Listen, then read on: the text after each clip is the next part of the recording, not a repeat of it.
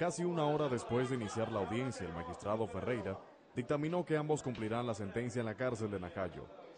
Tanto el gringo como Campuzano se defendieron de las acusaciones e indicaron que el dinero decomisado fue tomado prestado para comprar bebidas en el liquor store que posee Mesa. Es que yo no tengo que ver con droga.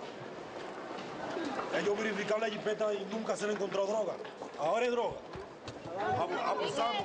Dicen que tú estás implicado también en lavado de activos. Es que cuando he tenido ha sido lavado de activos si, aquí- si nunca me, me han aprobado lavado de activos. Respecto al caso, el abogado defensor señala que la decisión es una injusticia. Ahí está el recibo del préstamo. ¿Por qué esa Abogado. La justicia? La injusticia de la justicia. Abogado, la fiscalía dice que encontró residuos de cocaína en la jipeta del Falso. que le incautaron ayer.